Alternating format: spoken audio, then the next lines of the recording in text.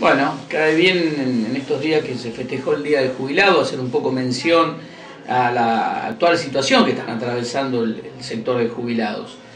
Eh, lo primero que tenemos que decir que en la provincia de Santa Fe, gracias a Dios, la caja de la provincia se mantuvo en la órbita provincial y no fue pasada en su momento como muchas provincias al ámbito nacional. Eso permite que eh, coexistan los dos sistemas, el sistema nacional, el del ANSES, que nosotros conocemos normalmente, los jubilados nacionales, que anteriormente esa caja era la famosa caja de industria y comercio y de autónomo, hoy es una sola caja, es el,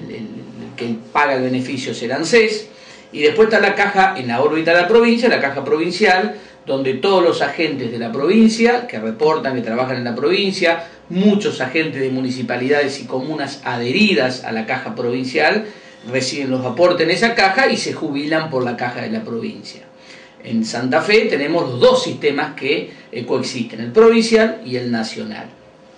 Eso sería como, como idea general, como idea general. Decimos gracias a Dios que la caja de la provincia se quedó en la órbita de nuestra provincia porque eh, los saberes que abona la provincia son muy superiores a los saberes nacionales. Hoy tenemos que partir de que una jubilación mínima en el ámbito nacional está en 1.400 pesos, con algún mínimo suplemento que llega a 1.440, 1.430.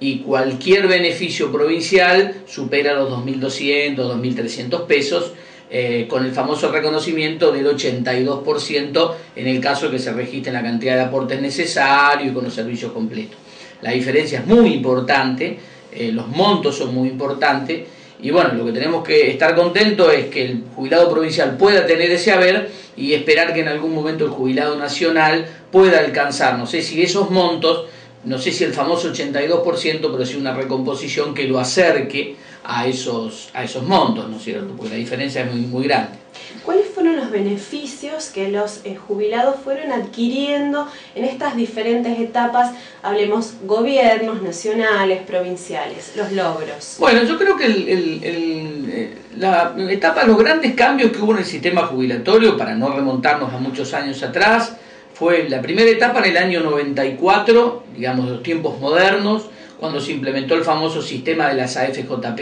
en el ámbito nacional donde el gobierno nacional además, eh, eh, eh, digamos, solicitó a muchas provincias que transfieran su caja, que es lo que hablábamos antes.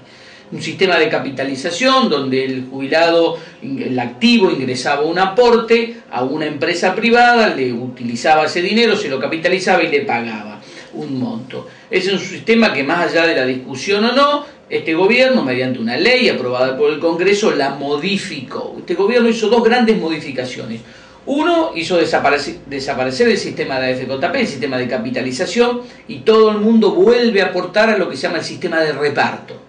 Ese es uno de los grandes cambios de los últimos, de este gobierno fundamentalmente, pero de los últimos años. Y el otro gran cambio, que nació en el año 2003, que fue creo el más importante de todo, también hecho por este gobierno, que fue la instrumentación de una moratoria que permitió que muchísima gente que no tenía aporte pueda acceder a la jubilación como paso fundamental y prioritario.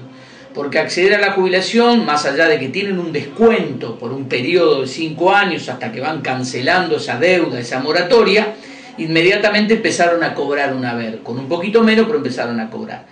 Pero esto es, si bien es importante, a tu pregunta, uno de los elementos más importantes que permite además estar jubilado es acceder a un sistema de obra social como es PAMI Imaginémonos que había una gran cantidad de gente que no solamente no tenía jubilación, sino no tenía ningún tipo de cobertura. Entonces esto, eh, tener la jubilación, que si bien el monto es chico, le ha permitido a mucha gente además adherirse al sistema de PAMI, tener cobertura médica, que a una edad, eh, es importante a toda edad de la vida, pero imaginémonos cuando pasamos los 60, 65, es más importante todavía, y entonces esta gran masa de afiliados que antes o acudía a los hospitales públicos no tenía dónde atenderse, hoy tiene su médico cabecera, tiene su PAMI y está en un sistema nacional que más allá de con algún reclamo, pero le presta un servicio. Yo creo que ese es, el, gran impulsor de, la modificación que hubo, digamos. No solamente poder jubilarse, sino además gozar de todos los beneficios que tienen los jubilados normales, digamos, los que habían hecho a lo mejor aporte.